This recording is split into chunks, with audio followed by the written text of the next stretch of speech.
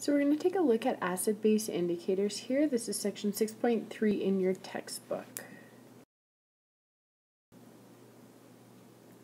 So an acid-base indicator is the substance that changes color when the pH of a solution changes. Indicators exist in two forms that each have a different color, if not actually more. So some indicators have multiple colors, and what we're looking at here is cabbage indicator, showing different colors for different pH values.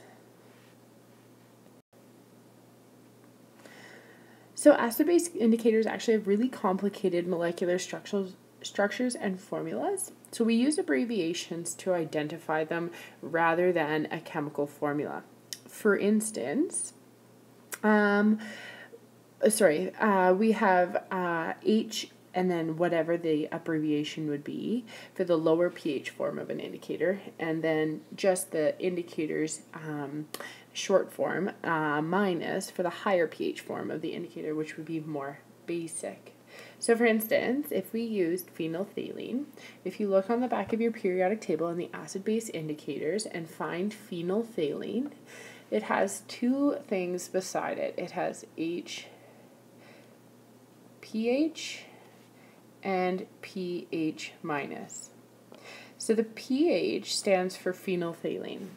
Only phenolphthalein has this indicator um, abbreviation. So pH minus means it's the more basic form. And HPH, again, think H is acidic, would be the more acidic, so the lower pH form. So what we're going to do here is take a look at more indicators from your periodic table. The one that's not on there though is litmus. So I've written the abbreviation here for us. So H lit or lit um, negative would be the abbreviation for litmus. It actually has a different pH range. It's not 4 point, or sorry, 5 to 8. It's 4.5 to 8.3. Okay, so remember HIN is the more acidic pH, and H, uh, or sorry, IN minus would be the more basic range. Now note that in your um, periodic table, all of them are written with the H version, version first and the pH version second. So, because of that, what we see here is that HLIT would be our more acidic version, and that would be 4.5. So what this says is that if something has a pH of 4.5 or less, we know that litmus, when it's acidic, would turn red. Okay. If we were uh, measuring a solution who had a pH of 8.3 or higher, we know that it would turn litmus blue. Okay, so we're going to use this idea for a few different indicators. So looking at the back of your periodic table again, in the acid-base indicators table, bromothymol blue is listed with an abbreviation of HBB or B B minus. Now directly beside that, it shows that bromothymol blue's pH range is 6.0 to 7.6. What this is saying is that anything 6.0 or less would be our acidic indicator version. 7.6 and higher would be our BB minus abbreviation. Now, again, moving to the next column, it says that bromothymol blue turns yellow to blue. So what that's saying is that as the pH goes from 6.0 to 7.6, bromothymol blue will turn from yellow to blue.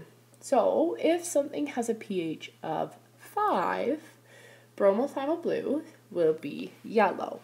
Okay, so our indicator color, the acidic version, so anything less than at 6.0 will be yellow. Okay, and anything from its 7.6 and onwards, it will be blue. Know that anywhere in between those colors, it will be green. So between 6 and 7.6, the bromothymol blue will have part yellow and part blue, and yellow and blue make green. Looking at phenolphthalein, we knew its abbreviation previous was HPH and pH minus. Now its pH range is 8.2 to 10.0. Now, when it's in its acidic version, anything less than 8.2, it will be colorless. And anything beyond 10 will be pink.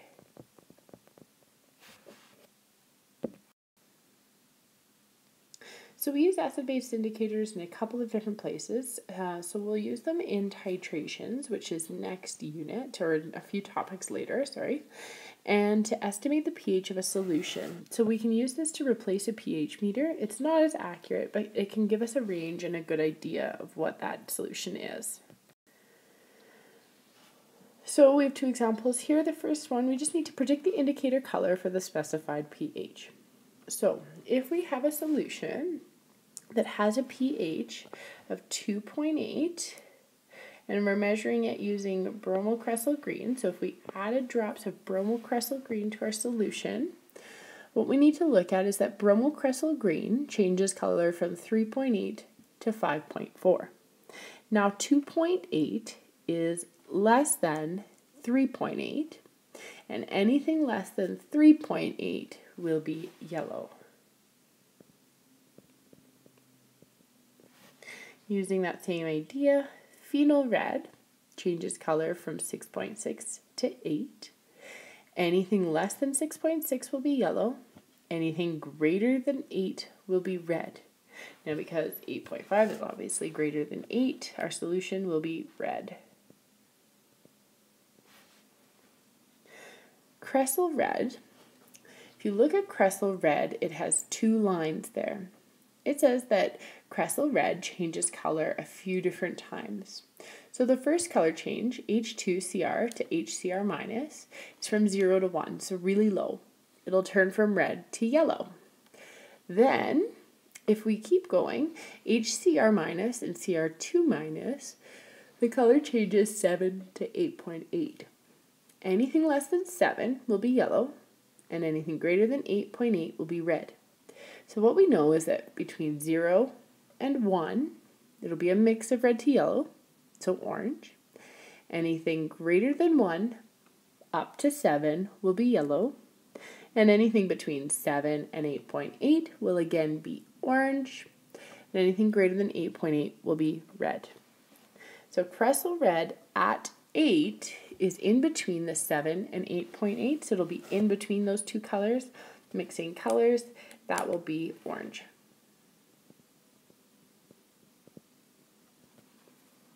Okay.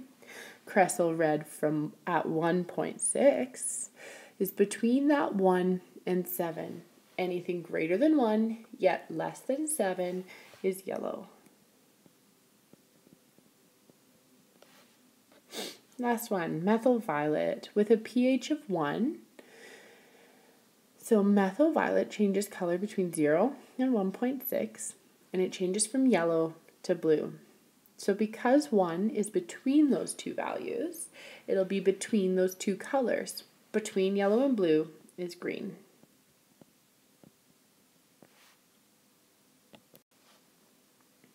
Our last example here is if we test a solution with several different indicators, we can determine the pH. So we've tested with orange 4, bromocresol green, phenol red, and bromothymol blue. And so we're going to use this information to create a, an idea of the range of pH this solution could be. So our first step is to decide what this um, color is telling us about each solution. So looking at orange 4, orange 4 turns from red to yellow. It goes from 1.4 to 2.8. So what this says is that a pH greater than or equal to 2.8, this solution will be yellow. So therefore, our solution being measured must have a pH of greater than or equal to 2.8. So we're going to use this information idea for bromocresol green. Bromocresol green changes from yellow to blue between 3.8 and 5.4. Therefore, this solution must have a pH greater than or equal to 5.4. Now remember, we're testing the exact same solution in all of these cases. So already what this shows is that the pH was greater than 2.8, but it also has to be greater than 5.4. So a pH, for instance, of 3.5 will not be sufficient to turn bromocresol green blue. Therefore, we know we can rule it out in this case. Continuing on, phenol red is yellow when the pH is less than or equal to 6.6.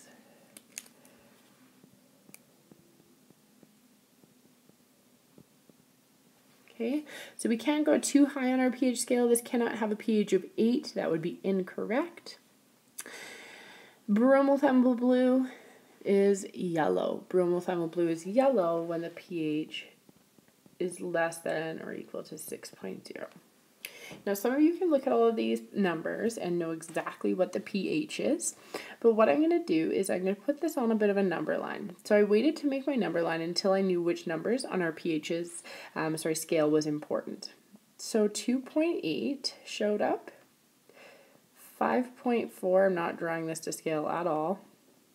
6.0 and 6.6 were important points. What I'm going to do is use a different color for each indicator. So orange 4 being yellow, so the pH had to be greater than 2.8. So 2.8 and onwards is what that could be. Doing the same thing for bromocresol green, the pH had to be 5.4 or greater.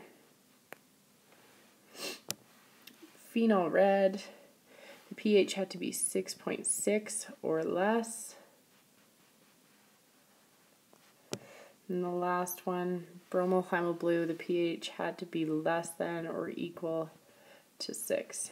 Now looking at this, it's a bit of a disaster, but what we're looking for is where all four, or however many we had in our question, overlap. And so they all overlap between 5.4 and 6.0. So what we can say is that the pH of our solution must be within this range for all of these colors to match up. So we'll write that like we would in math. The pH has to be less than 6, but greater than or equal to 5.4. So we can use this information to create a bit of a um, number line to then find the pH range that is possible for our solution.